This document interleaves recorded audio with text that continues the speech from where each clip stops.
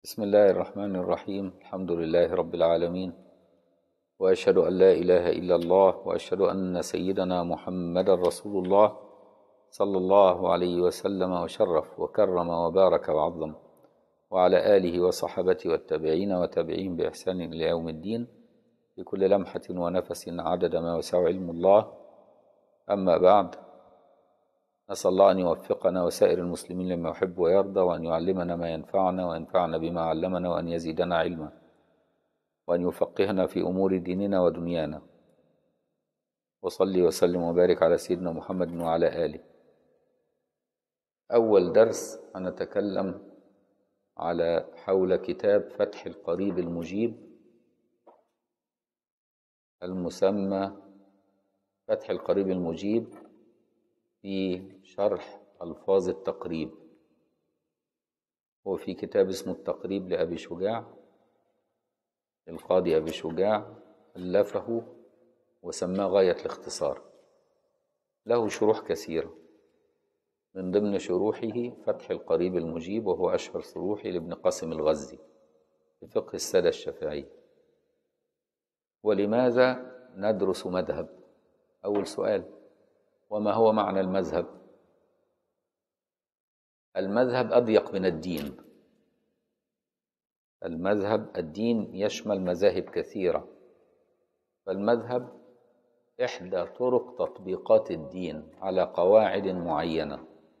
ذهب إليها عالم وصل لدرجة الاجتهاد. فده يسمى مذهب.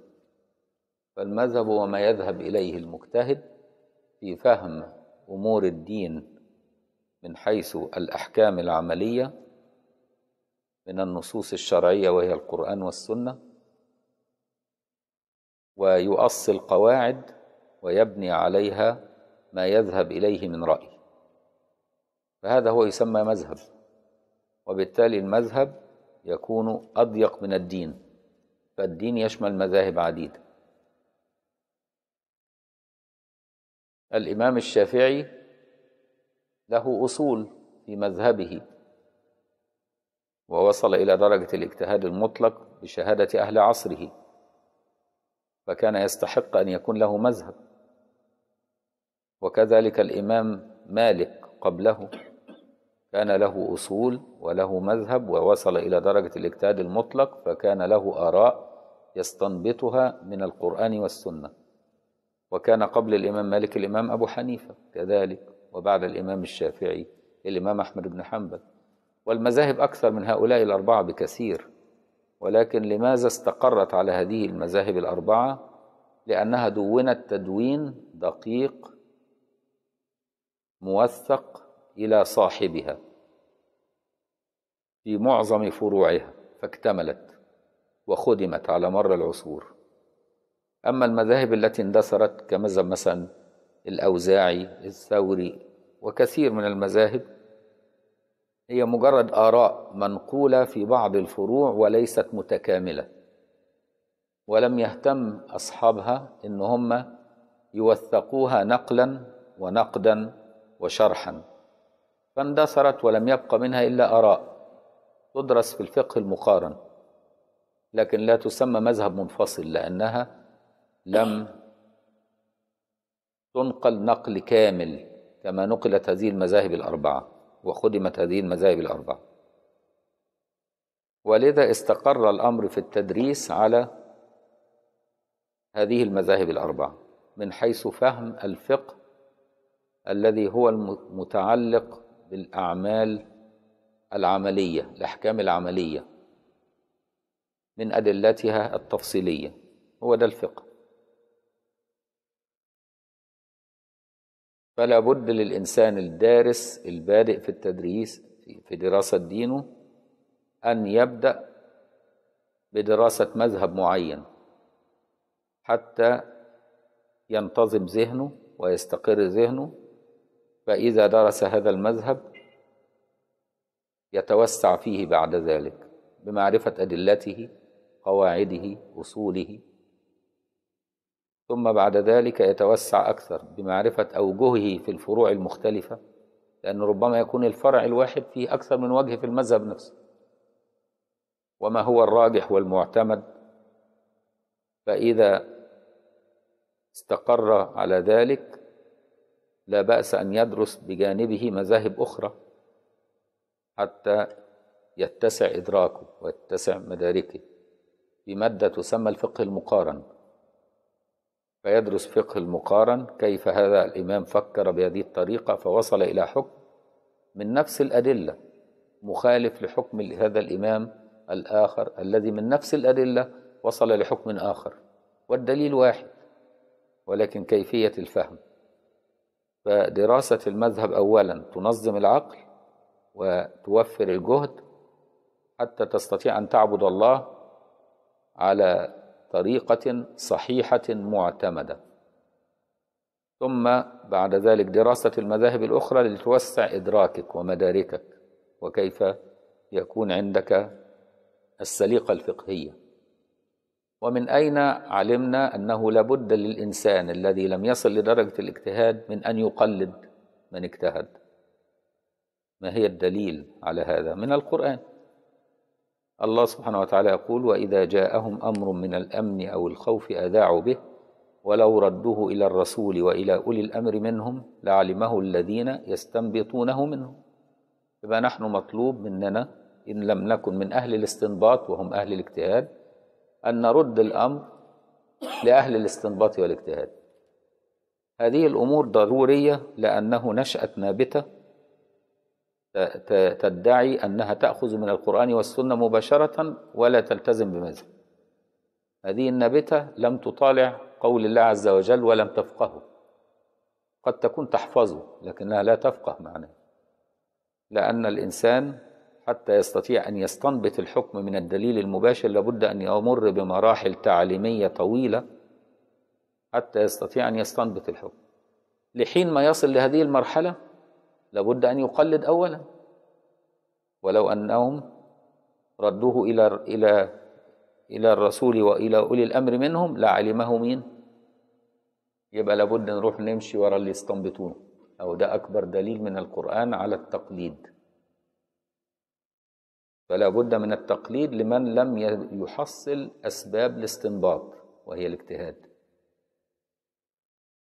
فمذهب الإمام الشافعي من المذاهب المعتمدة والتي انتشرت في الأرض والحمد لله بثقلها العلمي لا بقوة سلطان ولا بقوة المال. هناك مذاهب انتشرت بقوة سلطان وهناك مذاهب انتشرت بقوة مال. يعني المذهب الحنبلي مثلا أنفق علينا فقط طائلة حتى ينشروا المذهب الحنبلي لما نشأ الفكر الوهابي. فأنفقوا نفقات طائلة حتى يعني يفرضوا هذا المذهب على الناس وإن كان هم في طبيعتهم لا يتبعون المذهب الحنبلي يعني بدقة أيضا. ولكن أنفق عليه أموال طائلة حتى ينتشر المذهب الحنبلي. المذهب المالكي وجوده من المدينة ومنبعه من المدينة وهي أصلا مصدر كبير للعلم كان سبب لانتشاره بسبب ما نما من مدينة النبي صلى الله عليه وسلم. المذهب الحنفي انتشر لأن الحكم العثماني اتخذه هو المذهب الرسمي. فانتشر انتشارا واسعا بسبب الحكم العثماني والخلافة العثمانية. لكن لا يوجد هذه الأشياء للمذهب الشافعي. يعني المذهب الشافعي الذي نشره هو قوته العلمية. هذا لا يعني أن غيره ليست له قوة علمية. لا له قوة علمية أيضا ولكن تجردت القوة العلمية في المذهب الشافعي في نشره وباقي المذاهب ساعدتها قوة أخرى غير قوتها العلمية في نشرها. المذهب الشافعي له مزية أنه الإمام الشافعي تعلم ولد في غزة سنة 150 هجرية. حفظ القرآن في غزة ثم ذهب إلى مكة فأخذ العلم على سفيان الثوري وعلى أبو مسلم آه لا على آه على علماء مكة وأساسهم كان الإمام سفيان الثوري. كويس؟ أبو مسلم الزنجي. نعم فتح الله عليك أبو مسلم الزنجي وسفيان الثوري كانوا أساس العلماء اللي أخذ منهم في مكة الإمام الشافعي. وإن كان أخذ من كل علماء مكة فأخذ علم أهل مكة. ثم بعد ذلك ذهب إلى المدينة وتلقى العلم من الإمام مالك. ثم بعد ذلك ذهب إلى العراق وتلقى العلم هناك من محمد بن الحسن وهو تلميذ الإمام أبو حنيفة. وذهب قاضيا لليمن فنقل علم أهل اليمن. ثم ذهب إلى مصر فنقل علم الليث بن سعد. وتتلمذ عليه في العراق الإمام أحمد بن حنبل. فكان الإمام الشافعي حلقة وصل بين المذاهب الأربعة. فالإمام الشافعي مذهبه تجده أنه هو يشمل المذاهب الأربعة. ومن تعمق في المذهب الشافعي سهل عليه معرفة أحكام المذاهب الأربعة. دي دي حقيقة. الإضافة لأن الإمام الشافعي استقر في مصر وإحنا في مصر. فيكون أنسب لنا إننا نتعلم المذهب الشافعي لأنه انتشر في مصر. حتى العوام اللي ما درسوش المذهب الشافعي تنظر لعباداتهم تلاقي على مذهب الإمام الشافعي. بالسليقة. وبالتالي لما تدرسه وأنت في مصر لا تأتي بشيء لا يتعوده أهل مصر ومن عادة الفقيه إن هو لا يفاجئ الناس في عبادتهم بأشياء هم لم يعتادوها حتى لا يفتنهم عن دينهم ولو كانت صحيحة على مذاهب أخرى. وبالتالي المذهب الشافعي هو أنسب مذهب لدراسته أنا في رأيي يعني لأهل مصر لأنه انتشر ولأنه يشمل المذاهب كلها. قلما تجد رأي في المذاهب الأربعة أو غير الأربعة حتى إلا وتجده وجه عند الشافعي من الوجوه. يقوم مذهب الإمام الشافعي على خمس أصول لازم نعرفهم. اللي هي أصول المذهب التي استقر المذهب عليها وقام عليه أول أصل من أصول المذهب الشافعي الأمور بمقاصدها. اللي إحنا بناخدها من من حديث إنما الأعمال بالنيات. الأمور بمقاصدها. أول أصل. الأصل الثاني الضرر يزال. الضرر يزال. الضرر يزال. لحديث لا ضرر ولا ضرار. والأصل الثالث اليقين لا يزول بالشك. اليقين لا يزول بالشك. والأصل الرابع الميسور لا يسقط بالمعسور لقول النبي ائتوا مما أمرتكم.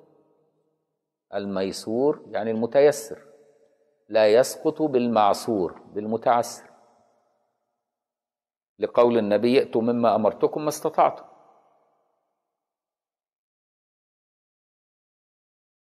الخامس والأخير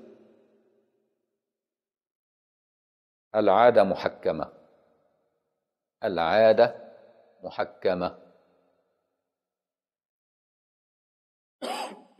يبقى أصول مذهب الشافعي قام على خمسة أصول تستقرئها في كل فروع المذهب بعد ذلك. وتجد لها تطبيقات في باب الطهارة تطبيقات في باب الصلاة في أبواب العبادات المختلفة وفي المعاملات وغير ذلك. الأمور بمقاصدها الضرر يزال الميسور لا يسقط بالمعسور اليقين لا يزول بالشك والعادة محكمة خمس أصول لابد أي شافعي يبقى عارف. أصول مذهبه قامت عليها يعني إيه العادة محكمة؟ العادة محكمة أي أنه لو لم يأتي دليل شرعي في مسألة معينة فننظر للعادة لأن العادة هو خلق الله اللي هو الاستقراء. لأن ربنا له كتاب مسطور وهو القرآن وكتاب منظور وهو الأكوان. فإن لم يكن عندك دليل من الكتاب المسطور فلتنظر إلى الكون وخلق الله. زي نديك مثال. أقل سن للحيض هل ورد في حديث؟ ما نعرفش يعني المرأة عندما ترى دم يخرج من فرجها متى نقول أنه حيض؟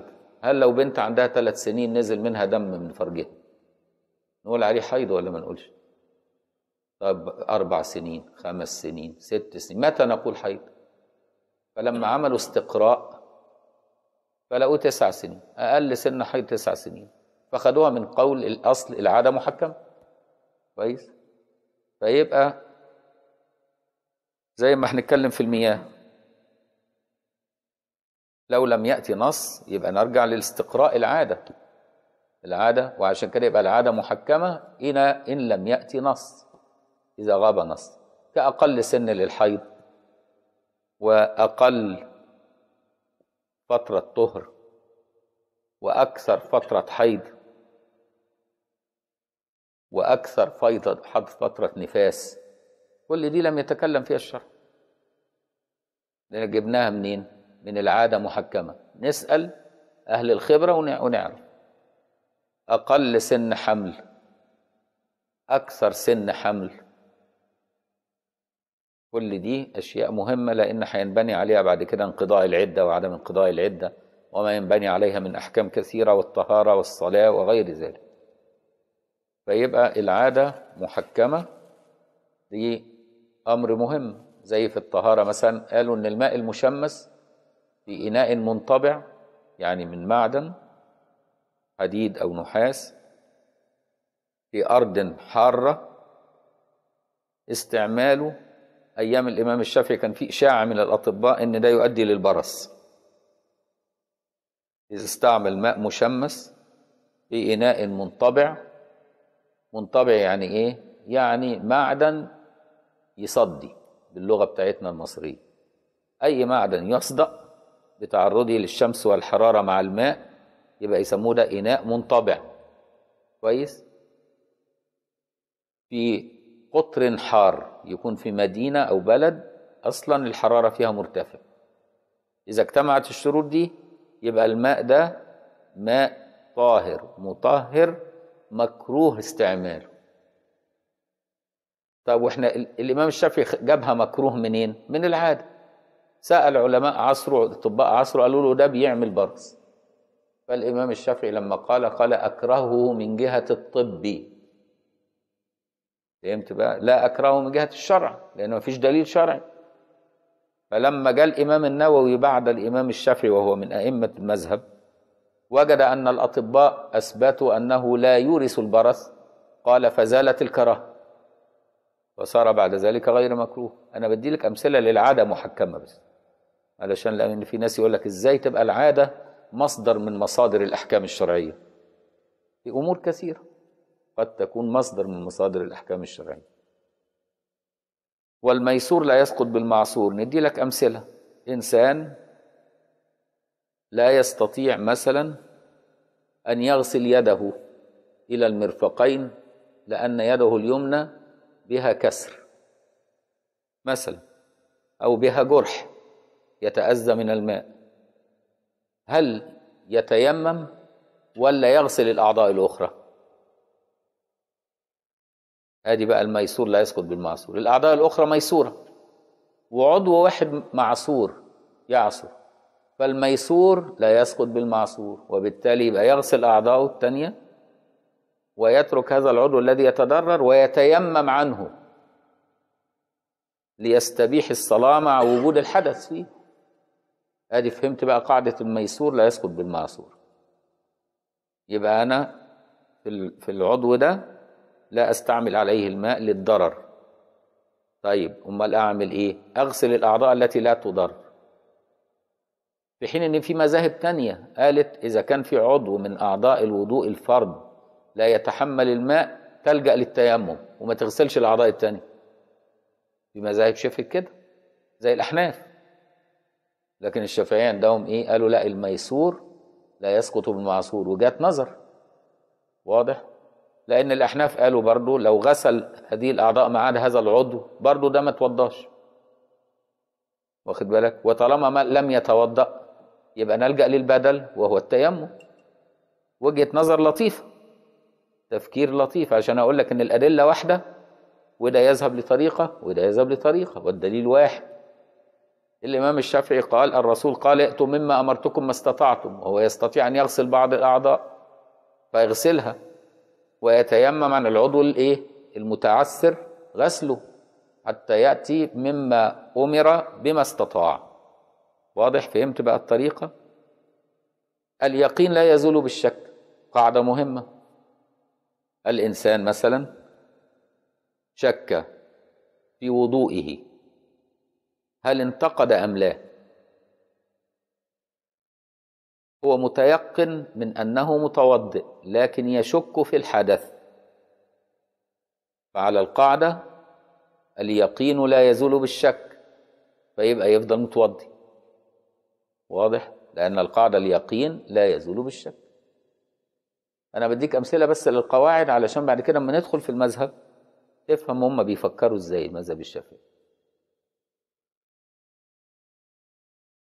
بتمشي برضه. والرسول صلى الله عليه وسلم لما بيقول له لا تترك صلاتك حتى تسمع صوتا أو تجد ريحا يعني تتيقن. كده برضه. فخدها الإمام الشافعي من الحديث.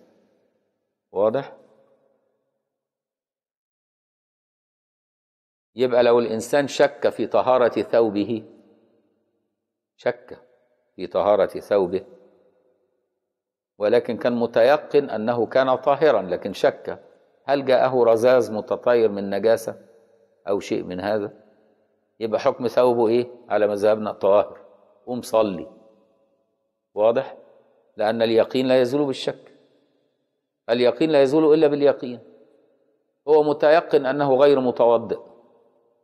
وشك هل توضأ أم لا.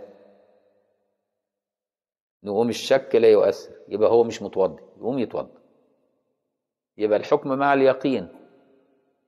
شك هو في الركعة الرابعة ولا في الثالثة؟ نقول له يبقى أنت متيقن إنهم ثلاثة وشاكك في زيادة واحدة. اطرح الشك وامشي على اليقين. اليقين لا يزول بالشك. تجده بقى في فروع كثيرة. تجدها في فروع كثيرة. الأمور بمقاصدها اللي هي إنما الأعمال بالنيات فلا بد إن هو ينوي وعشان كده الشافعية اهتموا بالنية جدا.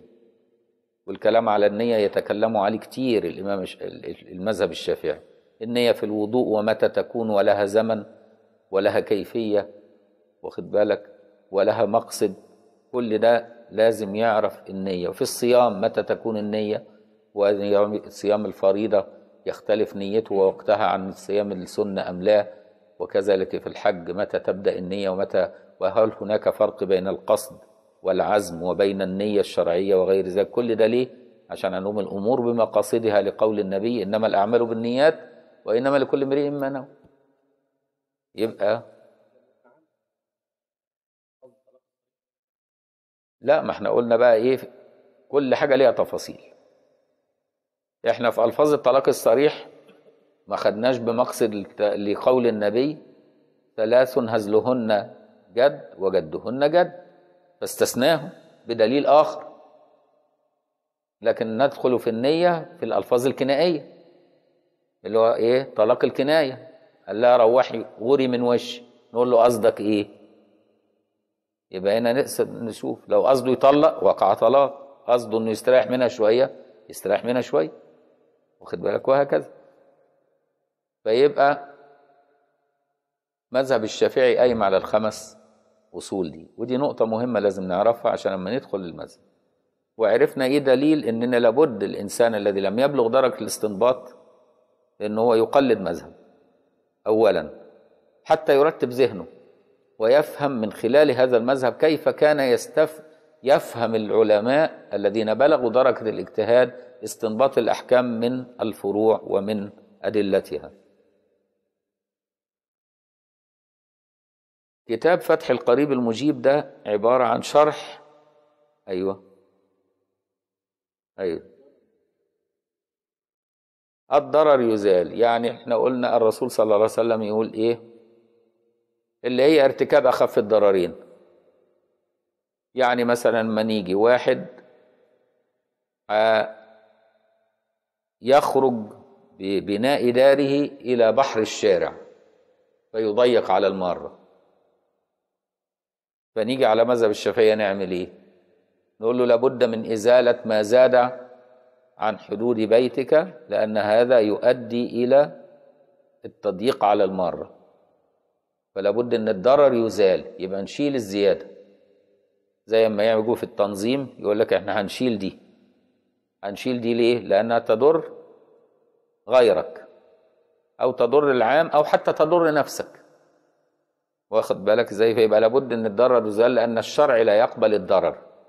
فإن تعارض ضرران ضرر عام وضرر خاص نقدم الضرر العام نزيله على الضرر الخاص. وعلشان كده يبقى إيه؟ ارتكاب أخف الضررين. يدخل في قاعدة ارتكاب أخف الضررين وفي إزالة الضرر. واخد بالك؟ ولا تقتلوا أنفسكم إن الله كان بكم رحيما. فلا تعذب نفسك. ماذا يفعل الله بعذابكم إن شكرتم وآمنتم؟ فلا بد إنك أنت ها؟ يقاس بقى عليها في فروع كثيرة بقى. يعني مثلا امرأة حامل والحمل ده يؤثر على حياتها لو استمر. يبقى يزال الحمل. لأن القاعدة الضرر يزال. بس لابد شهادة طبيب عدل. يقول لنا فعلا إن ده يؤثر على مرضها.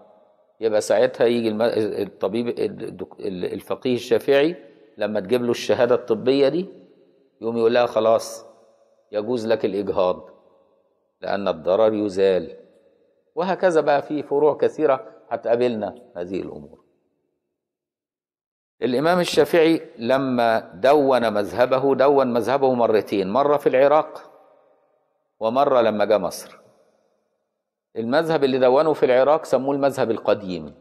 لما جاء مصر اتضحت له أدلة أخرى وتغيرت بعض الأعراف فتغيرت نظرته في بعض الأحكام فسموه المذهب الجديد. يبقى ما دونه في مصر سموه المذهب الجديد وما دونه في العراق المذهب القديم. والمذهب الجديد والقديم الفرق بينهم مش كتير في حوالي عشرين مسألة. يعني في. وبعض العلماء قال لك دي 14 مسألة بس. يعني مسائل محدودة بسيطة. وهتقابلنا وإحنا إيه بنمر عليها نقول قال في القديم كذا وقال في الجديد كذا. وده يدلك على أن الفقيه لابد أن يغير ما ذهب إليه إذا اتضح له دليل آخر. أما التشبث برأي فقهي واحد مع تغير الظروف والأدلة هذا دليل الجهل. فلا يعاب العالم إذا غير رأيه. بل من فقه العالم أن يغير رأيه ودي نقطة مهمة لأن في ناس دلوقتي شباب بيعيبوا على الدكتور علي جمعة مثلا إنه قبل أن يكون مفتيا قال كذا في المسألة وبعدما صار مفتيا قال خلاف ما قال. ربما أنه اتضحت له أدلة أخرى فغير اجتهاد. لا يضر لا يضر أن الإنسان يسير مع الدليل. وقد يكون الدليل واحد ولكن يغير اجتهاده لاختلاف حال المكلف واختلاف الظروف. وعلشان كده الإمام الشافعي نفسه هو غير وجهة نظره. والخلاف اللي في الفروع ده شيء ما يعني وارد وحتى حدث بين الأنبياء. في أكثر من الأنبياء إحنا بنقول الكلام ده ليه؟ لأن في شبهات حول المذاهب الناس يقول لك هو الحق واحد ولا متعدد؟ ليه تخليها مذاهب؟ هو ربنا هيتعبدنا بكام طريقة؟ في ناس بتقول كده لأنها مش فاهمة في حين إن إحنا ما بنقرأ القرآن بنشوف مثلا إن سيدنا داوود حكم في قضية واحدة بحكم وفي نفس القضية سيدنا سليمان حكم بحكم آخر وقال إيه وكلا آتينا حكما وعلما يعني ربنا أقر الاثنين لكن رجح رأي سيدنا سليمان في هذه المسألة في هذه القضية وقد يتغير ظروف القضية ويبقى رأي سيدنا داود هو الأرجح برضه لأن قال وكلا آتينا إيه؟ حكما وعلما. يبقى الخلاف في الفروع ده وارد وربنا جابه لنا حتى في القرآن على مستوى الأنبياء في قضية واحدة. واخد بالك؟ وبالتالي يبقى الخلاف في الفروع لا يفسد الديانة بل يفتح باب التيسير. ومراعاة حال المكلف لأن حال المكلف يتغير فتغير الحكم بتغير حاله ويتغير اجتهاد المجتهد بتغير الأدلة المتوفرة لديه. واضح؟ فلما يبقى مثلا إنسان نظرته في بلد واحد غير نظرته في جميع البلاد في مسألة واحدة فلما يجي يعيش في القاهرة مثلا ويفكر في ختان النساء البنات. لو المسألة هي القاهرة بس وفيها خدمة طبية كافية يقول آه والله ختان البنات نعمله. لأن في بعض المذاهب قالت واجب وبعض المذاهب قالت مكرمة وبعض المذاهب قالت مستحب ده بيتكلم على مستوى إيه؟ مدينة القاهرة لأن فيها خدمة طبية متوفرة لا ينبني عليها ضرر. إنما لما يجي يخرج من القاهرة ويبص لجميع المحافظات والنجوع ويلاقي أن هذه القضية هذه الطريقة بتؤدي إلى تشويه ونشر حتى فيروس سي اللي هو يعتبر وباء منتشر في مصر وبيقوم بهذه العملية غير مؤهل بالطب وبيحصل منها حالات وفاة. يقوم يتغير حكم. بعد ما كان بيتكلم وهو قاعد في القاهرة بيقول يا جماعة ختنوا بناتكم. بعد ما نظر لكل المحافظات لقى ان الضرر يزال. فقال إن بينبني عليها ضرر فقال ما تختنوش بناتكم. هو نفسه الفقيه لما تغيرت نظرته بينظر على مدينة ولا بينظر على دولة ولا بينظر على العالم؟ في المسألة الواحدة وده دين الله وده دين الله برضه. واخد بالك؟ وده لا يدل على انه هو إنسان إيه بيبيع دينه من أجل دنيا لأن لا يصح إننا نسيء الظن بمسلم فضلا عن علمائنا. دي كلها أداب لابد طالب العلم. لما يدخل يدخل العلم بحسن النية في المسلمين وبالرحمة وبمقصد انه هو يريد طاعة ربه لا ليتميز على الأقران ولا ليحكم على الناس بل يصحح عبادته لعل الله سبحانه وتعالى ينجو به. فهذه النوايا لابد أن تكون موجودة. كن إنسان آخر يخالفك في الفهم أو شيء من هذا التمس له العذر. قد يكون نظرته أوسع من نظرتك وقد يكون نظرته أضيق من نظرتك فتلتمس له العذر في الحالتين. وعشان كده الإمام الشافعي اللي هو قضى عمره في مناظرات مع أهل عصره كان يقول رأيي غيري خطأ يحتمل الصواب ورأيي صواب يحتمل الخطأ. مفيش حكاية التعصب. فأول حاجة لما تيجي تدرس المذهب تتخلى عن التعصب وتعرف إن ده أحد المذاهب وكل المذاهب معتبرة. وربما يكون رأي الأحناف في مسألة في في عصر من العصور هو أرجح من رأي الشافعية في عصر من العصور. ويتغير العصر وسماته فيصير رأي الشافعية هو الأرجح في هذا العصر. ثم نعود بعد ذلك إلى رأي المالكية وهكذا. لأن كل كلهم على هدى. كل الأئمة على هدى وعلى بصيرة والكل يقصد طاعة ربه.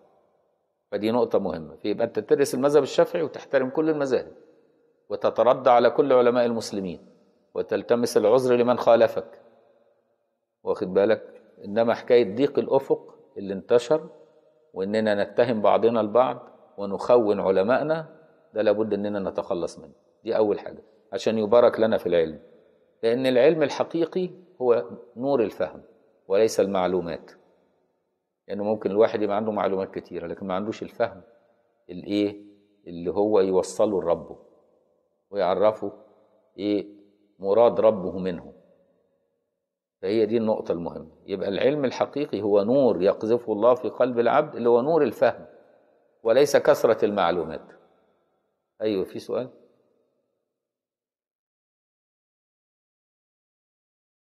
المقلد نوعان دارس وعامي.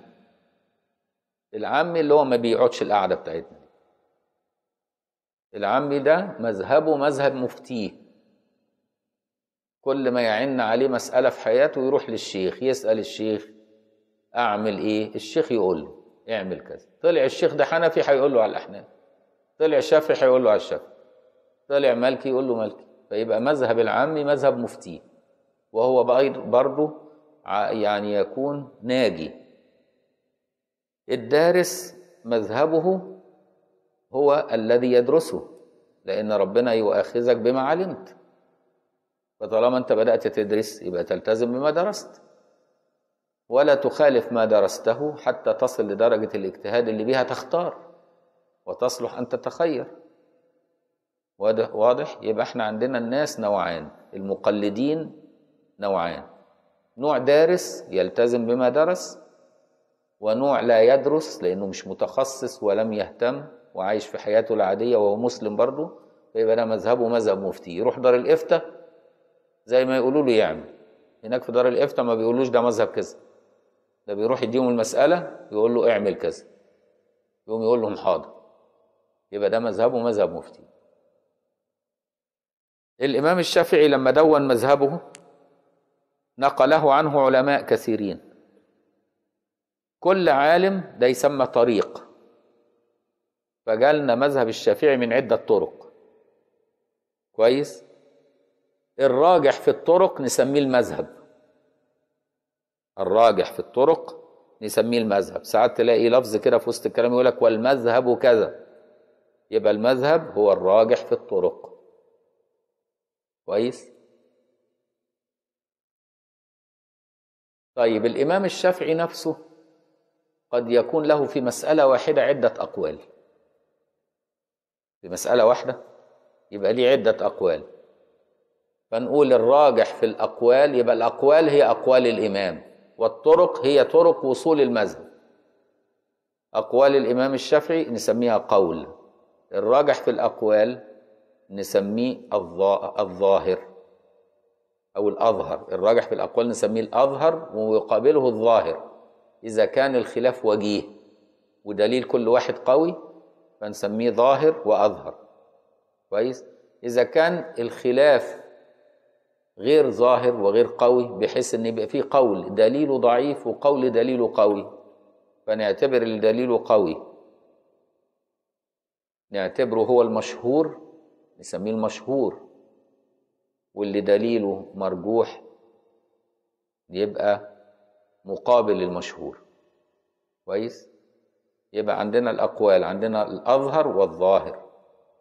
إذا قوي الخلاف وإذا ضعف الخلاف يبقى المشهور والغريب. مقابل المشهور الغريب.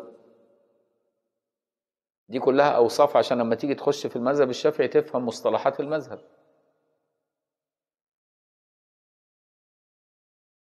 الظاهر والراجح الأظهر. الأظهر يقابله الظاهر. الأظهر يقابله الظاهر وهو الراجح في الأقوال إذا قوي الدليل. دليل كليهما يعني. إذا ضعف دليل الرأيين يبقى مشهور وغريب.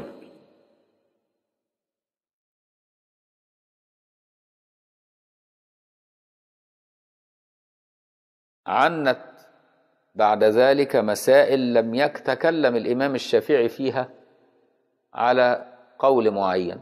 في العصور اللي جت بعد كده في عصر الإمام الرافعي في عصر الإمام النووي في عصر الإمام زكريا الأنصاري في العصور المتتالية لحد عصرنا ده. يوم يجي علماء المذهب الذين وصلوا إلى درجة الاجتهاد في المذهب يقيسوها على أصول المذهب. فيسمى وجه. يبقى ما استنبطه علماء المذهب على أصول المذهب مما لم ينص عليه الإمام يسمى وجه. وجه. وجه. وجه. وجه. وقد يختلف بقى علماء المذهب في عدة وجوه في المسألة الواحدة. فالراجح في الأوجه إن قوي الدليل يسمى الأصح. ويقابله الصحيح وإن ضعف الدليل يسمى الصحيح ويقابله الضعيف. واضح؟ يبقى إحنا عندنا طرق أقوال أوجه. طرق اللي هي إيه؟ ما وصل إلينا الإمام الشافعي من الطرق المختلفة. من نقلت المذهب في العراق نقلت المذهب في مصر. دي طرق. في حاجة اسمها تخريج. التخريج في المذهب الإمام الشافعي تجد في بعض المسائل المتشابهة. يدي رأيين مختلفين. وهي المسألة متشابهة. وما نعرفش ليه ادى رأيين متشابهين مختلفين. في مسألة متشابهة. ولم نستطع إننا نفهم الفرق الفرق الدقيق الذي جعل الإمام الشافعي يعطي رأيين مختلفين في مسألة واحدة. يقوم العلماء يجيبوا مسائل أخرى تشبه هذه المسألة ويمشوا مع أحد الرأيين فيستنبط لها حكم ومع الرأي الثاني يستنبط لها حكم آخر فيسموه تخريج. واضح؟ يبقى يقول لك خرجها على الرأي الفلاني وخرجها على الرأي الفلاني. يبقى عندنا في المذهب طرق وأقوال وأوجه وتخريجات. كل دي لازم ناخد بالنا منها عشان وإحنا بنقرأ في المذهب نبقى فاهمين المصطلحات. نيجي بقى نشوف. القاضي أبو شجاع اللي هو مصنف هذا ده كان توفي في القرن في أوائل القرن الخامس الهجري. 400 وشوية. كويس؟ ده القاضي أبي شجاع في أوائل القرن الخامس الهجري.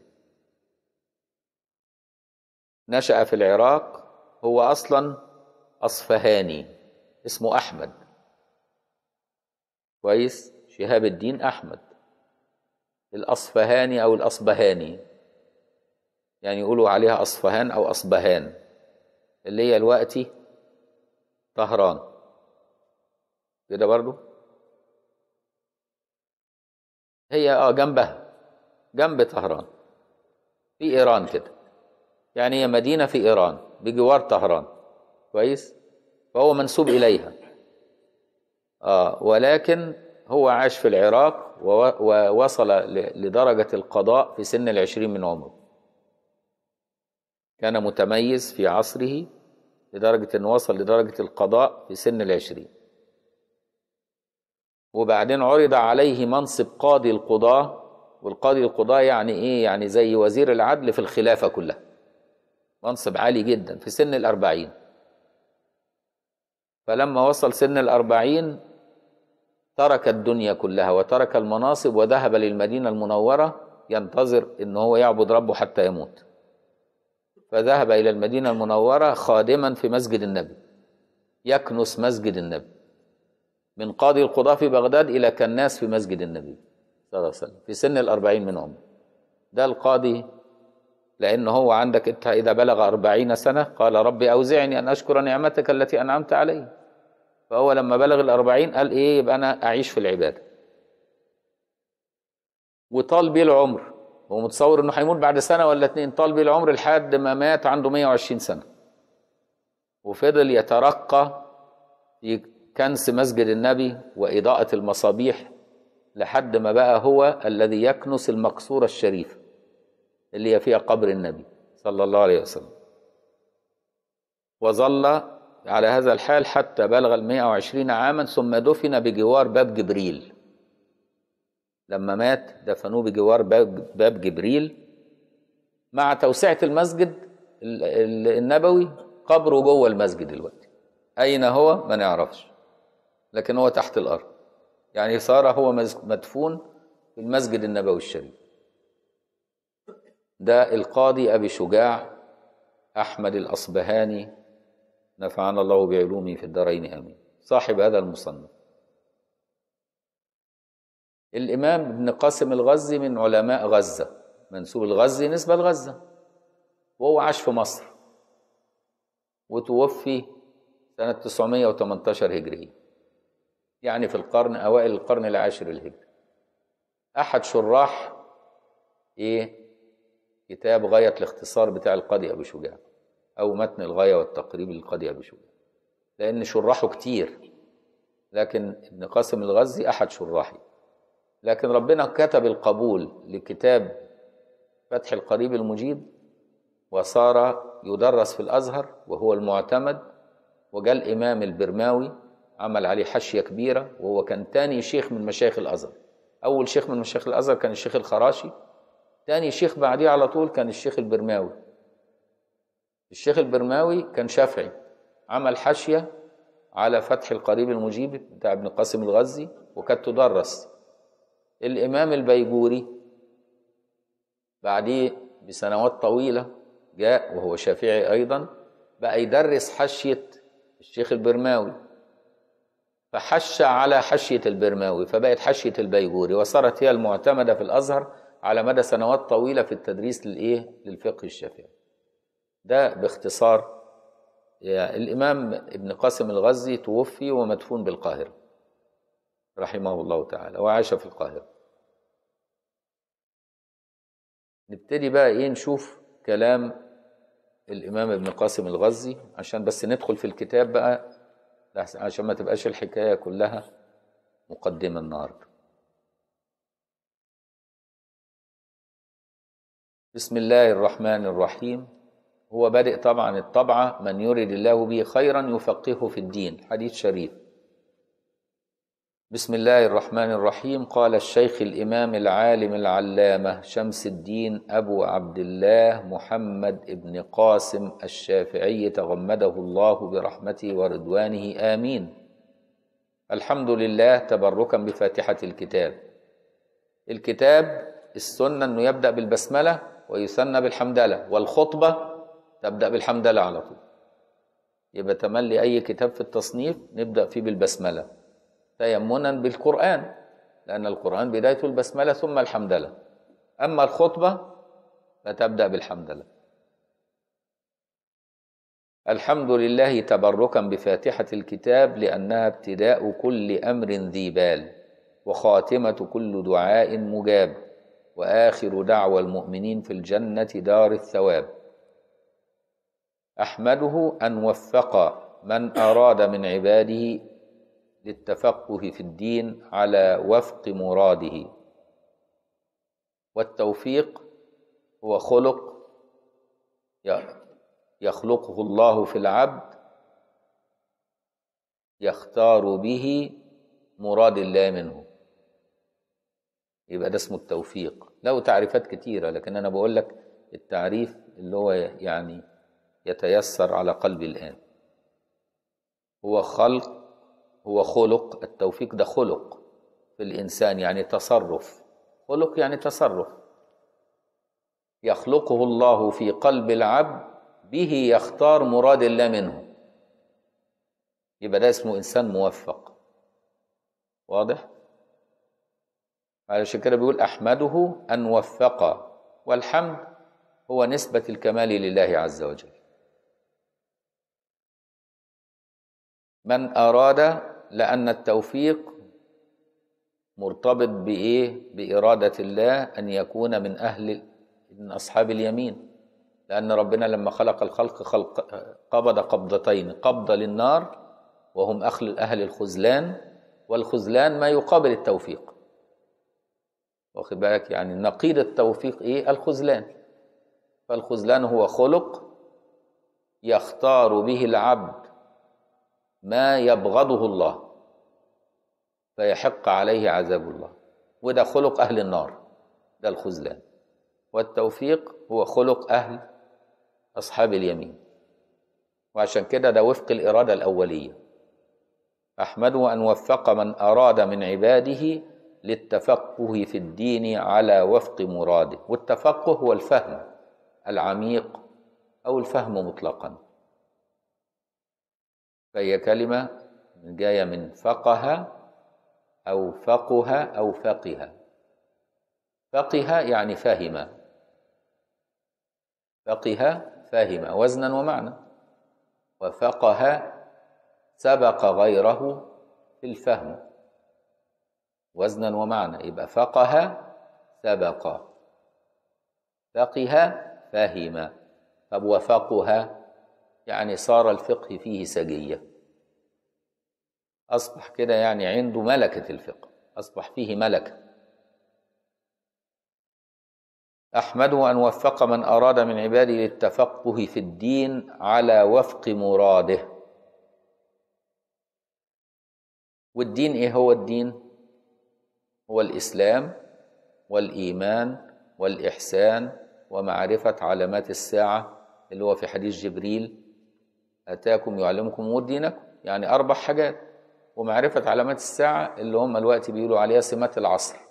إنك تعرف سمات عصرك وتبقى بصير بزمانك وفي نفس الوقت عالم بأحكام دينك حتى توفق أحكام دينك على وفق زمانك.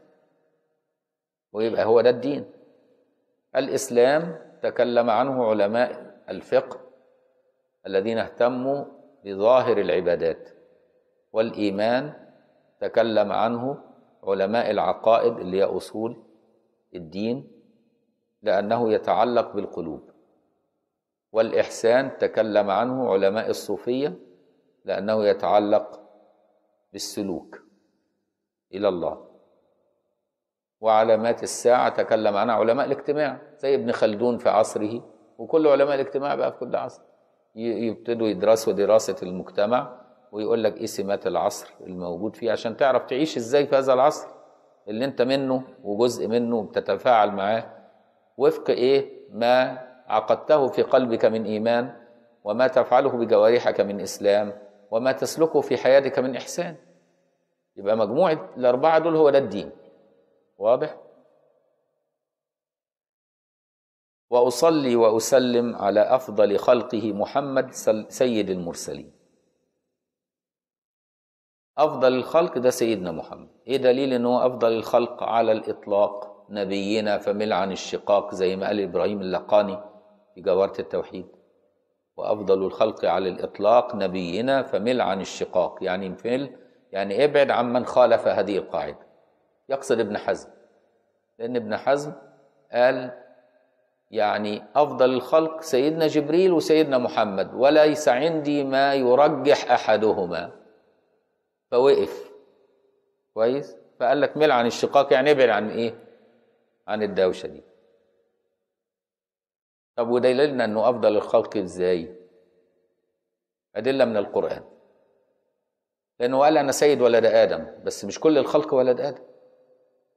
كده برضه. وممكن تقول له آه سيد ولد آدم ده بالإجماع. لكن هل هو كمان أفضل من الملائكة؟ طب ولو أفضل من الملائكة يبقى أفضل كمان من جبريل؟ طب أفضل من العرش والكرسي؟ طب أفضل حتى من الجنة والنار ومن سائر المخلوقات لأن بنقول أفضل الخلق. أدلة كثيرة. أول دليل في نظري وهذه الأدلة على فكرة دي استنباط مني لكن الأمة اتفقت على أنه أفضل الخلق. لكن أنا هجيب لك أدلة غير اللي مكتوبة بقى في الكتب الثانية من القرآن بس. قول الله عز وجل وما أرسلناك إلا رحمة للعالمين. فكل ما سوى الله عالم والنبي أرسل له فلا بد أن يكون النبي أفضل منه. يبقى أفضل من عالم العرش وعالم الكرسي وعالم الملائكة وعالم الجن وعالم الإنس وسائر العوالم. لأنها توقفت سائر العوالم على إرساله إليها لتظهر. فصارت يده العليا على سائر العوالم صلى الله عليه وسلم. فيبقى هو أفضل العالمين بدليل وما أرسلناك إلا رحمة للعالمين. الدليل الثاني إن الله وملائكته يصلون على النبي. يا أيها الذين آمنوا صلوا عليه وسلموا تسليما. الله لا لم يقل في حق أي نبي آخر إن الله يصلي عليه. كويس؟ وإن كان للمؤمنين لأنهم تابعين للنبي قال هو الذي يصلي عليكم وملائكته. ليخرجكم من الظلمات إلى النور. صلى علينا لأننا صلينا على النبي.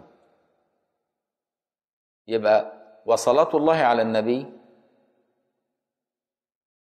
هذا أيضا من استنباطي ولا تجده في كتاب. عايز تشوف آراء العلماء في يعني إيه أن صلاة الله يعني إيه ويعني إيه صلاة الملائكة ويعني إيه صلاة المؤمنين؟ اقرأ الكتب لكن إحنا مش هنقول كلام الكتب. في المسألة. أنا هقول لك الكلام اللي أنا أفهمه.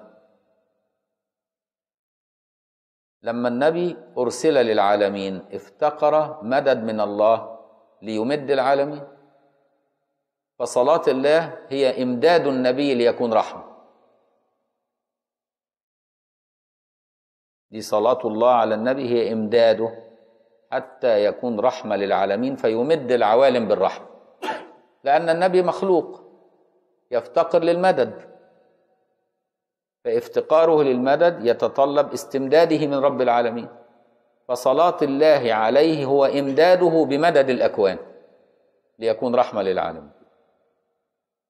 والملائكة تستمد وجودها لا من الله مباشرة بل بالصلاة على النبي. فغذى الملائكة الصلاة على النبي. لأن الملائكة ما بتاكلش ولا تشرب. الملائكة عشان تعيش لابد تصلي على النبي. زي ما انت كده عشان تعيش لابد تتنفس. فيبقى حياة الملكة الملائكة متوقفة على الصلاة على النبي.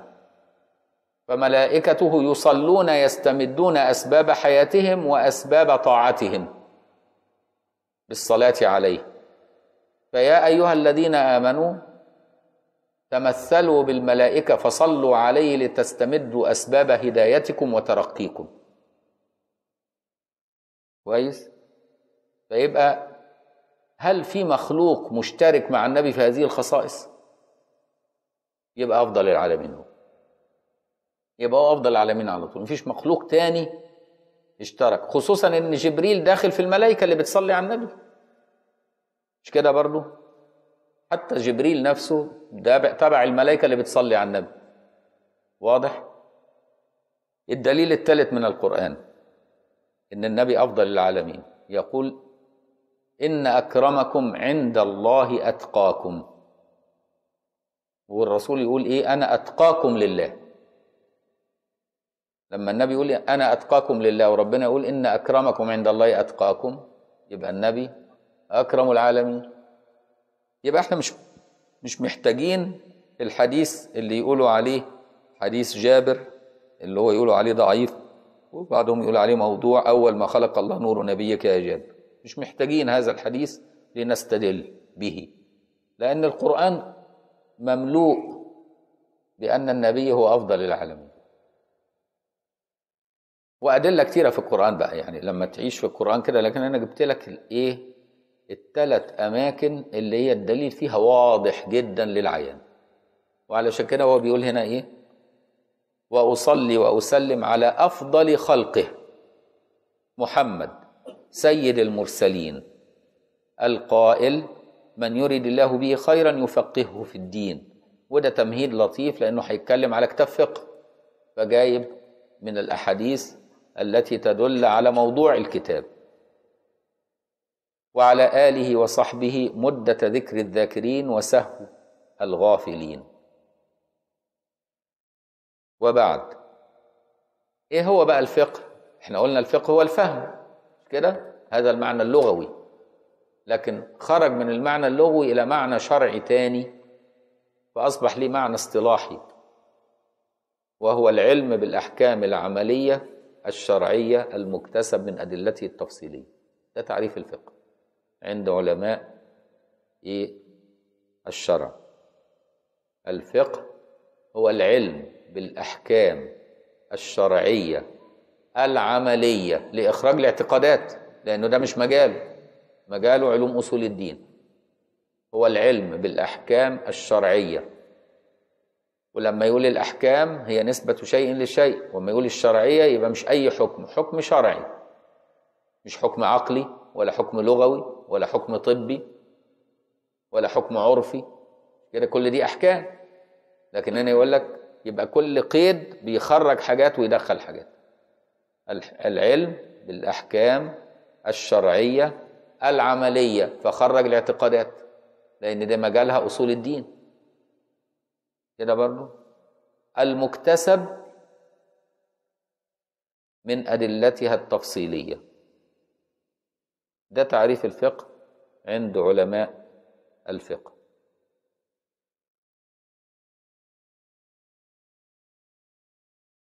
المكتسب من أدلتها التفصيلية؟ المكتسب والمكتسبة الاثنين صح.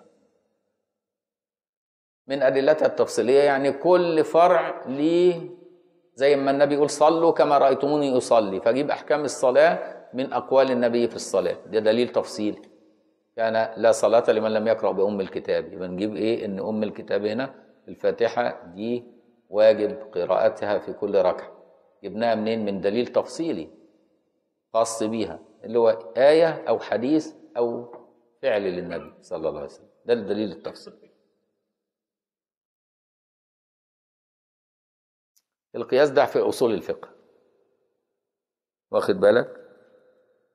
أصول الفقه ليه تعريف اصطلاحي اللي هو إيه؟ العلم بأدلة الفقه إجمالا مش تفصيلا بقى إجمالا. كويس؟ وكيفية الاستفادة منها ومعرفة حال المستفيد. ده علم أصول الفقه. فعلم أصول الفقه ده عبارة عن فلسفة الأحكام من الأدلة الإجمالية. فنقول مثلا في أدلة الفقه إن الأمر للوجوب. فالأمر الوجوب ده دليل إجمالي. يدخل تحتيه أقيموا الصلاة تبقى الصلاة واجبة. آتوا الزكاة تبقى الزكاة واجبة. حجوا البيت يبقى الحج واجب. جبناه من دليل إجمالي وهو أن الأمر للوجوب. واضح؟ فيبقى أصول الفقه يبحث في الأدلة إجمالا لكن الفقه نفسه يبحث في الأدلة التفصيلية. واضح؟ وبعد هذا كتاب في غاية الاختصار. والكتاب جاية من التكتب ومنها الكتيبة اللي في الجيش عشان مجموعة معينة متناسقة. فأي مجموعة معينة متناسقة نسموها كتيبة. يقول لك دي كتيبة مشاة يعني كلهم سلاح واحد نوع واحد. فأي شيء متناسق مجموع نسميه متكتب أو نسميه كتاب. وعشان كده الكتاب تلاقيه عبارة عن مجموع مواضيع في موضوع متكامل.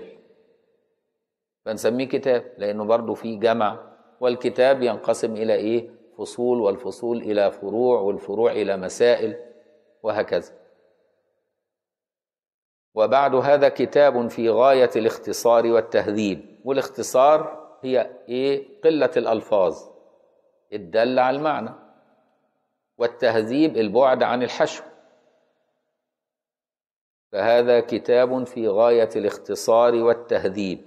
وضعته على الكتاب المسمى بالتقريب لينتفع به المحتاج من المبتدئين لفروع الشريعة والدين. وليكون وسيلة لنجاة يوم الدين. الأمور بمقاصدها. فهو بيبين لك مقصده من هذا التصنيف.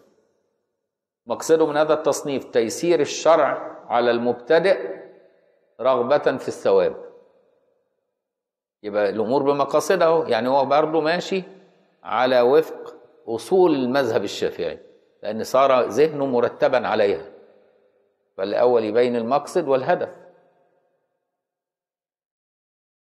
وليكون وسيلة لنجاة يوم الدين ونفعا لعباده المسلمين. ونفع المسلمين الدل على الخير كفاعله فياخد ثواب كل من انتفع به وهو في قبره. يبقى هو ده تحصيل الثواب لأن الأمور بمقاصدها. إنه سميع دعاء إنه سميع دعاء عباده وقريب مجيب. ومن قصده لا يخيب. وإذا سألك عبادي عني فإني قريب. خد بالك إن القرب هنا صفة للرب وليس صفة للعبد. قال وإذا سألك عبادي عني ألف العبد قريب ولا ألف إني قريب؟ يبقى القرب صفة لله وليس صفة للعبد. العبد بعيد. صفة العبد البعد والغفلة. وصفة الله القرب والمعية. واضح؟ وعلشان كده؟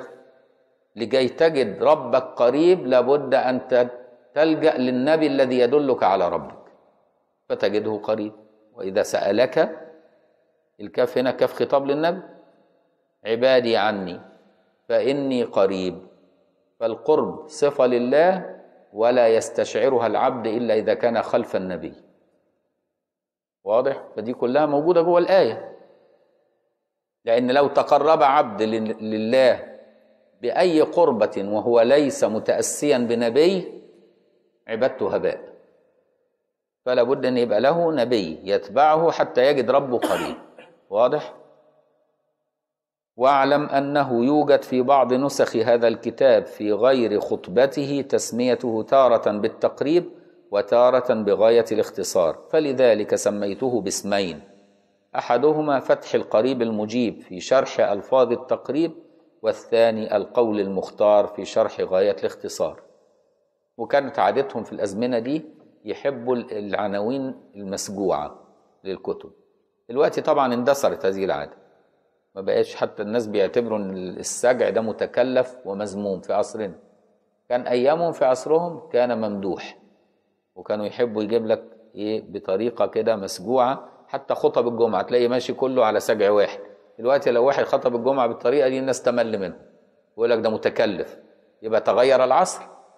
ولا بد إن الإنسان يغير خطابه الديني بتغير ذوق الناس. واخد بالك؟ ودي نقطة مهمة. علشان كده بعض الخطباء ساعات يبقى حافظ سجعات معينة كده ويقولها في كل خطبة جمعة والناس اللي بتصلي ولا كل جمعة يحفظوها ويبقوا نايمين. يعني يملوها. يفقدوا حتى إنهم ينتبهوا إليها. فالمفروض إن الخطيب يراعي إيه؟ طريقة الناس في انتباههم. ولان البلاغة هي مراعاة حال السامع على فكرة. هي دي البلاغة مش البلاغة اختيار الألفاظ القوية. قد ما هي مراعاة حال السامع.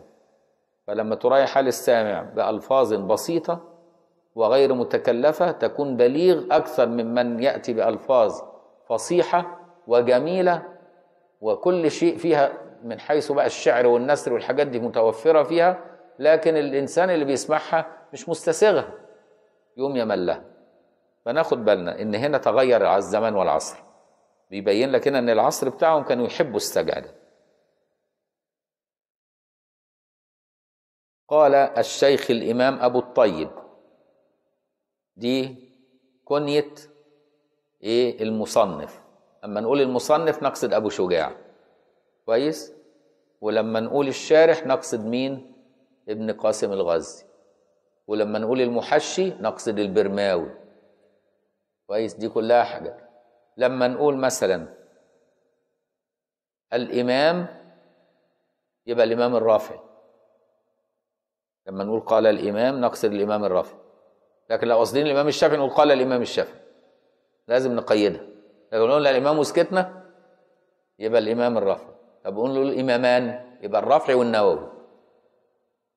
لو قال الأئمة يقصد الإمام الرافعي والإمام النووي وتاج الدين السبكي. كل دي في كتب الشافعية تاخد بالك. ليهم مصطلحات يعني.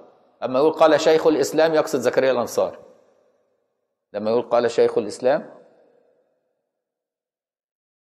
هم اتعودوا كده في التصانيف بتاعتهم. لأنه هو أصل أنت لما تشوف بداية التصانيف اللي اشتهرت وشهرت المذهب هو فتح العزيز للإمام الرافعي اللي هو جمع كتب الوجيز والمجيز للإمام الغزالي اللي هو خدها من الإمام الجويني قبله شيخه اللي هو خدها بعد كده من الإمام المزني اللي هو خدها من الإمام الشافعي. فأصل ما الكتاب اشتهر هو كتاب الإمام الرافعي في تدوين بقى المذهب خدت بالك؟ فأصبح كلمة الإمام يقصد بها الرافعي. ده دي مصطلحات زي ما بقول لك. هم اعترفوا بيه قبل ما اتولد أنا وأنت يعني. واخد بالك؟ فلا عشان لما تيجي تقرأ لهم بس تفهمهم.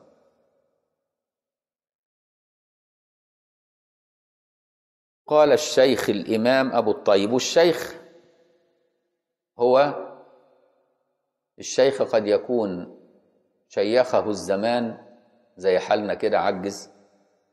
يسموه شيخ. يبقى اللي شيخه الزمان. الله يكرمه وقد يكون شيخه الناس. الناس تقول له يا شيخ وقد يشيخه العلم.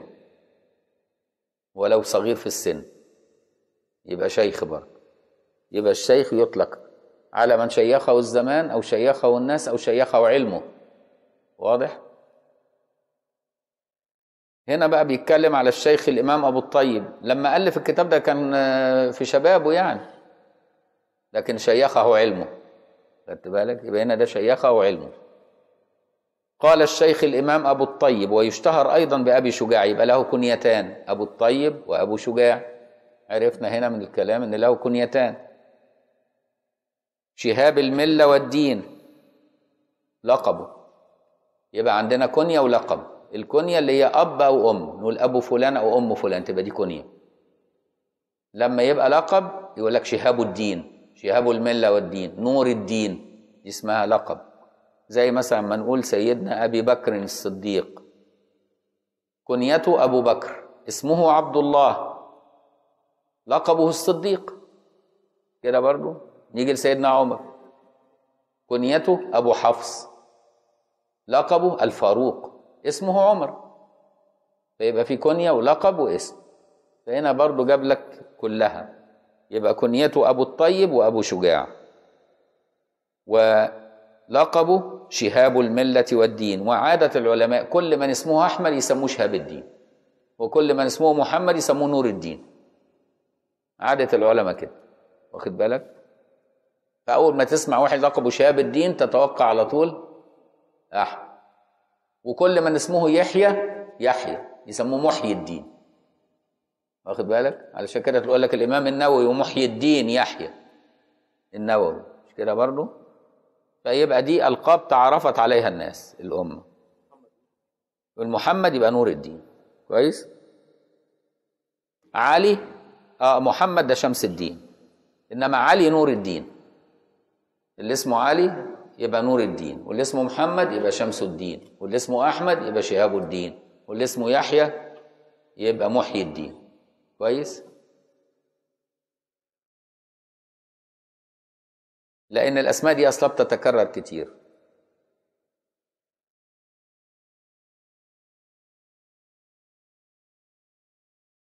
شهاب الملة والدين أحمد ابن الحسين ابن أحمد الأصفهاني أو الأصبهاني تنفع بالبه وتنفع بالفاء. وإحنا قلنا دي مدينة في إيران. سقى الله ثراه. وثراه فين؟ في المسجد النبوي الآن.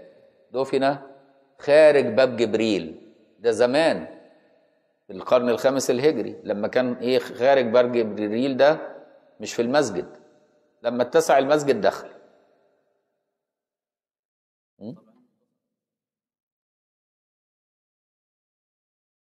لا مش عارف.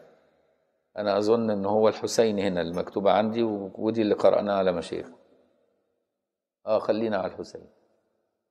وبعدين بعد كده نطلع كتب إيه؟ طبقات الشافعية. حد فيكم يطابع طبقات الشافعية ويشوف هل هل في خلاف في الاسم حسن والحسين ولا هو الحسين؟ آه أحمد بن الحسين بن أحمد الأصفهاني سقى الله ثراه صبيب الرحمة والرضوان وأسكنه أعلى فراديس الجنان. آمين. بسم الله الرحمن الرحيم. أبتدئ كتابي هذا. يبقى العادة إن يبتدئ المصنف أو الكتاب بالبسملة. بسم الله الرحمن الرحيم ابتدئ كتابي هذا والله والله مش بسم الله اي بسم الله اي باسمه ابتدئ لما تقول بسم الله الرحمن الرحيم يبقى ابدا وانت بتاكل تقول يبقى ابدا اكلي كده برضه متعلقه بفعل اهو إذا كنت بتقول بسم الله وأنت بتتكلم يبقى أبدأ كلامي إذا كنت بتقول بسم الله وأنت بتصنف كتاب يعني أبدأ كتابي. واخد بالك؟ وهكذا. يبقى بسم الله متعلقة بفعل يختلف باختلاف حال الإيه؟ القائل. والبسملة أمر مطلوب لكن يحرم عند فعل المحرم. يعني ما ينفعش مثلا وأنا بشرب خمرة أنا أعوذ بالله يعني بيشرب مش أنا يعني. اللي بيشرب خمرة يعني يقول بسم الله على كاس الخمر. ويشرب لأن ده استهزاء. لأنه كيف يتذكر ربه وهو يفعل الكبيرة. هيبتدي يزني بامرأة يقول بسم الله اللهم جنبنا الشيطان وجنب الشيطان ما رزقتنا. وهو بيزني الله ده استهزاء حرام. يبقى قد تكون البسملة حرام أحيانا وقد تكون مكروهة عند فعل المكروه. لما يبسمل عند فعل مكروه وقد تكون مباحة أه؟ آه ما يصحش. عند فعل المكروه إن الإنسان مثلا إيه؟ يبسمل ولا عند فعل الحرام. واضح؟ زي برضه نفس الحكاية الصلاة على النبي. ما ينفعش تصلي على النبي في في وقت لا تليق بقدسيتها. الناس العوام تلاقي واحدة رقاصه داخلة يقول صلي على النبي. واخد بالك؟ مش ده ده, ده إساءة أدب. ما يصحش. واخد بالك وهكذا. يبقى دي كلها حاجات من الفقه البسيط اللي بيه الإنسان يتعلم الأدب مع ربه.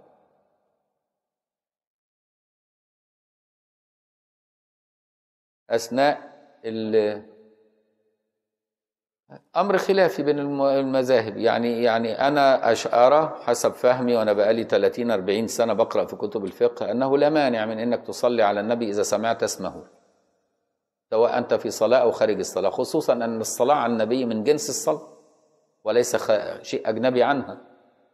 فطالما هي من جنس الصلاة والنبي قال البخيل من ذكرت عنده ولم ولم يصلي عليه وإن النبي كمان إيه دعا دعا على الذي يذكر عنده ولم يصلي عليه. قال إيه؟ لما سيدنا جبريل قال له بعد بعد من ذكرت عنده ولم يصلي عليك قل آمين. فقلت آمين. كده برضو؟ والأمر هنا مطلق. فما دخلتش الصلاة استثنيت. فلم تستثنى الصلاة وبالتالي يبقى في كل أحوالك كلما سمعت النبي تصلي على النبي. نيجي نشوف لفظ الصلاة على النبي بقى ده هل من جنس الصلاة ولا خارج عن الصلاة أجنبي عنها؟ فإن كان من جنس الصلاة فلا بأس. إن كان أجنبي عنها فلا تفعله. فهمت طريقة تفكير الفقيه؟ مش بطريقة بقى إيه أصله ما فعلهاش يبقى إذا ما عملهاش الطريقة دي خطأ لأنها جعلت أن المسكوت عنه منهي عنه وده وليس فقه. لأن المسكوت عنه عفو. كده برضو؟ والمتروك لا يدل على النهي. يبقى الترك صفة للفعل والسكوت صفة للقول ولا ينسب للساكت قول. كده برضو؟ فما تركه النبي نبحث. لما تركه؟ إن كان في سبب شرعي يبقى ياخد حكم هذا السبب. إن ما كانش في سبب شرعي يبقى يدل على جواز الترك. واضح؟ طيب والمسكوت عنه؟ المسكوت عنه إحنا عندنا قاعدة عند أصول عند الفقهاء جميعا مش الشافعية بس. لا ينسب للساكت قول. يبقى ما تنسبش للنبي قول. هو ما قالوش هو سكت. والحديث الرسول صلى الله عليه وسلم بيقول إيه؟ إن الله حد حدودا وإيه وشرع شرائع وسكت عن أشياء غير نسيان رحمة بكم. سكت. يبقى جعل السكوت عفو. كده برضو؟ وبالتالي يبقى اللي يجي يقول لك ليه بتصلي على النبي وأنت جوه الصلاة لما بتسمع اسم النبي؟ ده النبي ما عملش كده والصحابة ما عملوش كده مش عارف. آه يبقى ده مش فقيه. ليه؟ لأن كونه ما عملوش ده لا لا يستدل منه على النهي. واضح؟ لأن الترك لا يدل على النهي. فدي نقطة مهمة.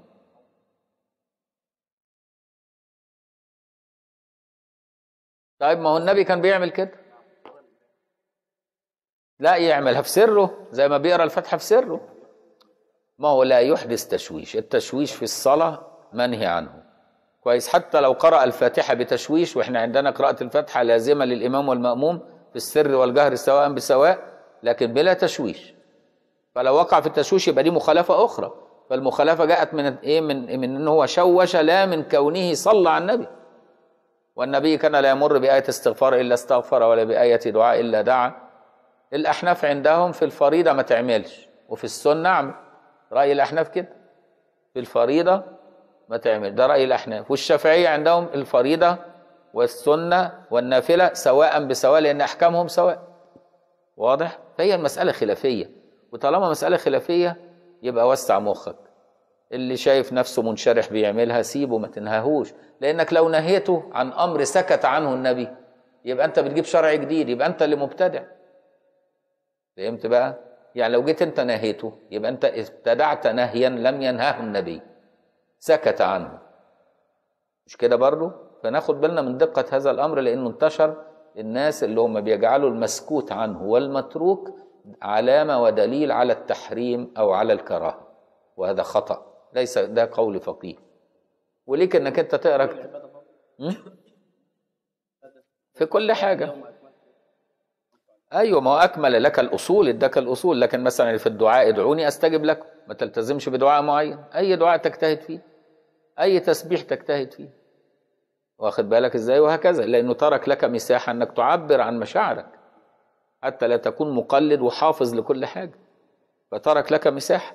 بدليل إن سيدنا خباب بن الأرت سن ركعتين لم يأمر بها النبي للقتل. كده برضه مش قال لهم قبل ما قالوا له تقتلوه قال لهم طب ادوني فرصة أصلي ركعتين. فصارت سنة من قتل أن يصلي ركعتين قبل أن يقتل شوف قد إيه؟ مين اللي سنها دي؟ هل سيدنا رسول الله امروا بيها؟ طيب. مين اللي سن سنة الوضوء؟ سيدنا بلال. قبل ما النبي يأمر بيها. وبعدين؟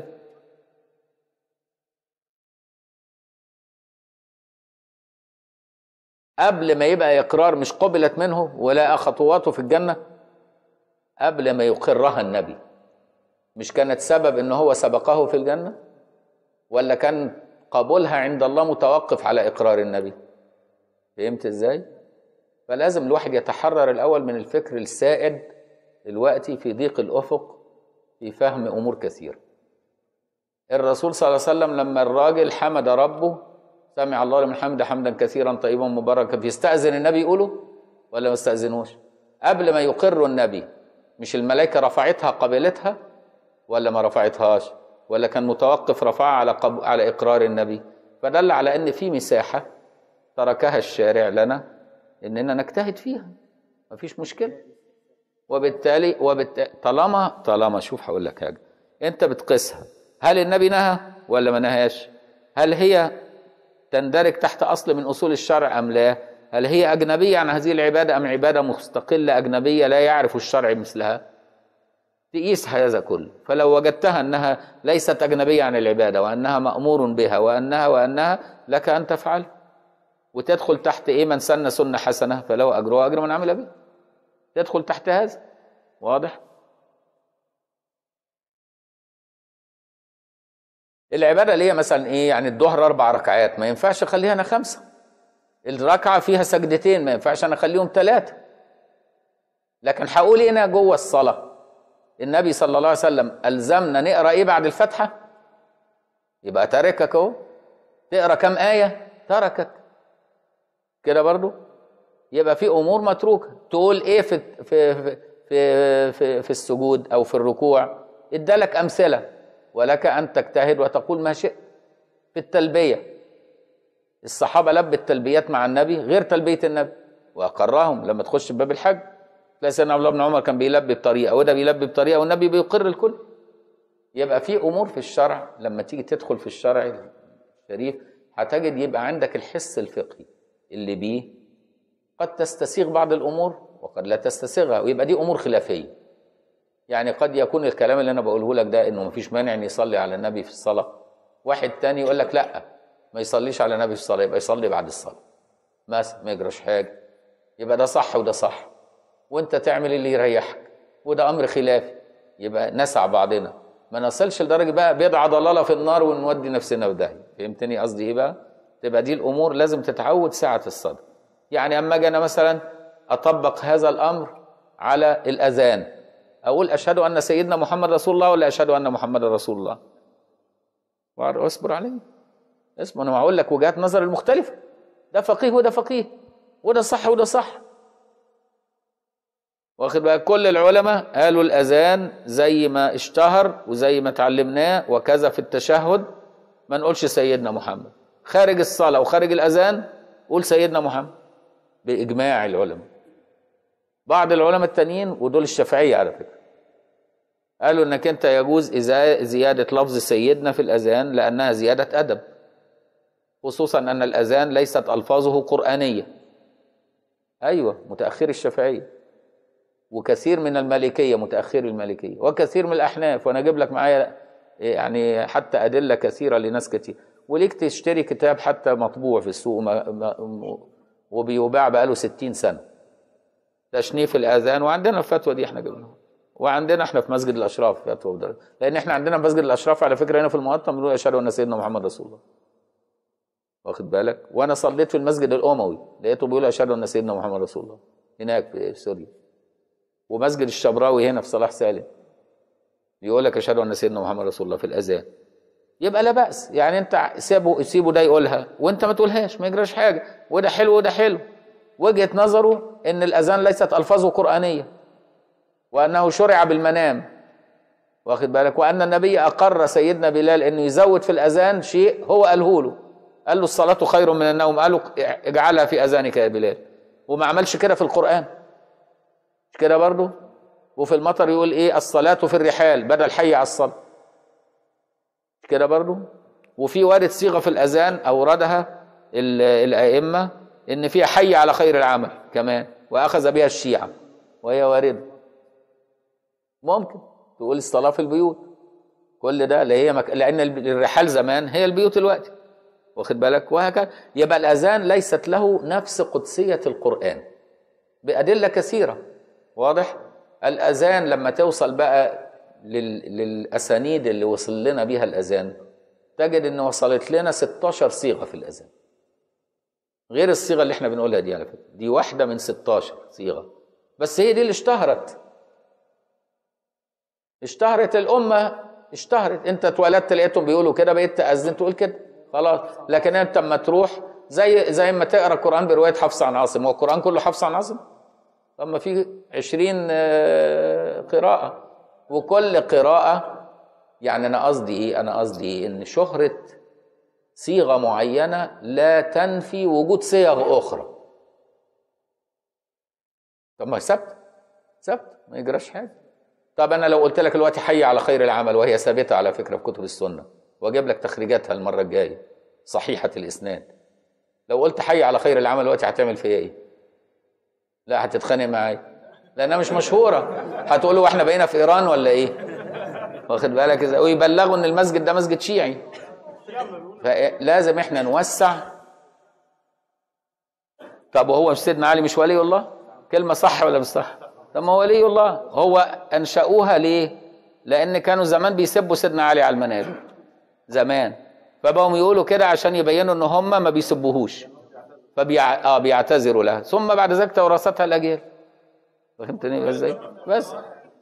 اسمعني بس. المسائل دي مسائل يختلف فيها وجهات نظر الفقيه. فممكن أنت توافق وأنا بتوافقني وممكن ما توافقنيش ونفضل كلنا حلوين. فهمتني إزاي؟ آدي المسألة. أنا عايز توسع مدارك مش عايزك تقتنع برأيي على فكرة لكن أنا عايزك تتعود إن في رأي يقابل رأيك. بس دي كفاية.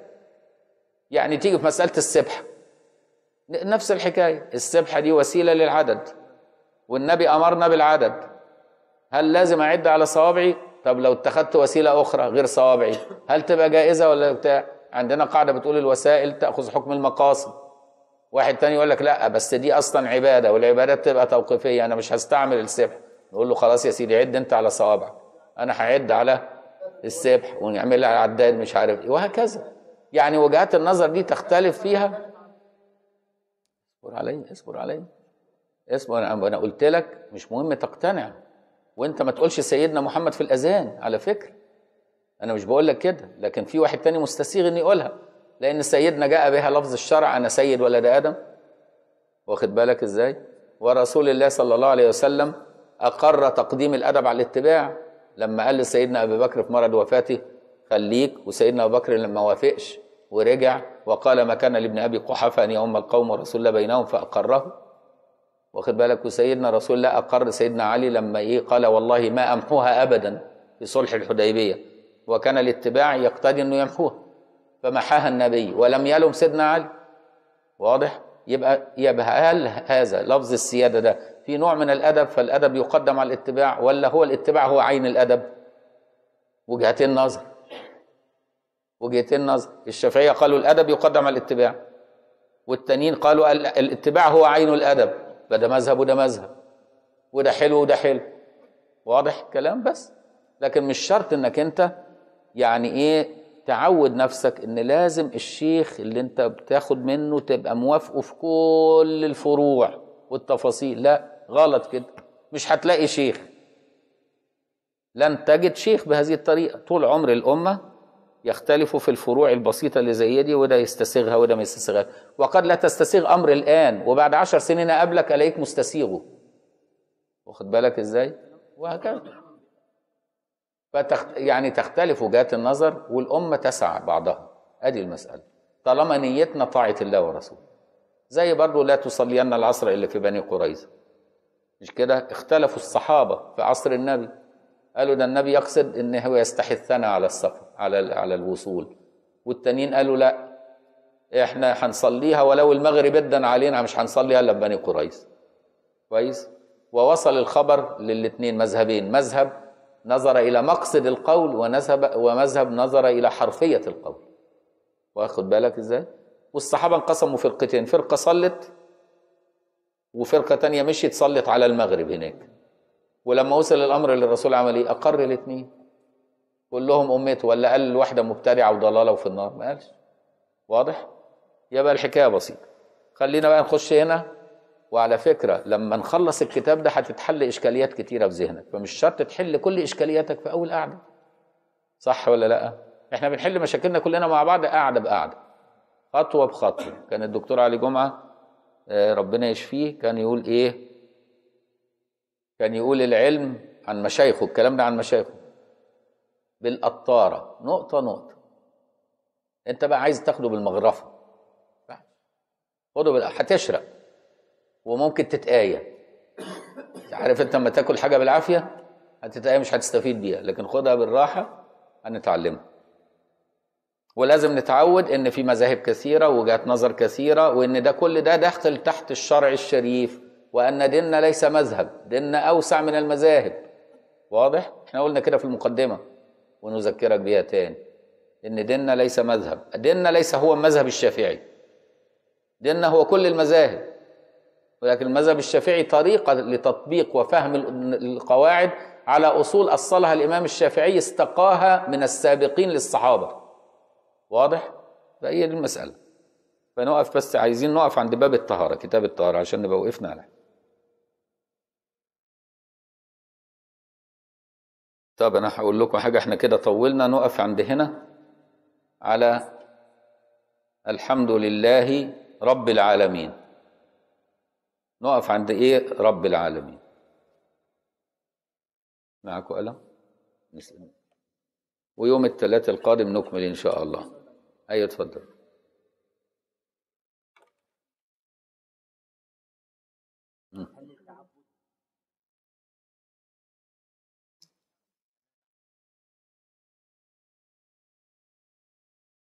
حرمة الصيد للمحرم ولا لغير المحرم؟ للمحرم يحرم على المحرم صيد البر ما دام محرما. لا خلاص أصلا هروح العلة؟ تعبدي واحتراما للمكان. وليشعر كل مخلوق في هذه البقعة بالأمان. لأن ربنا بيقول ومن دخله كان آمنا. وده خبر. واخد بالك؟ فليتحقق الخبر. وإن دخله كان امنا أي فأمنوه. واضح؟ ولكن لو لم تجد لها علة تعبدي. ربنا تعبدنا بها. أيوه اتفضل.